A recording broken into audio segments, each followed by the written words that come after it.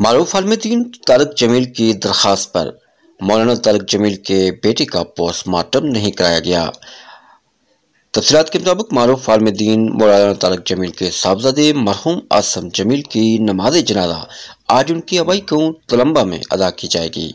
समाजी रबते की website x पर अपने पैगाम में मौलाना तारक जमील ने मरहूम बेटे की नमाज़ जनाजा के बारे में आगाह किया।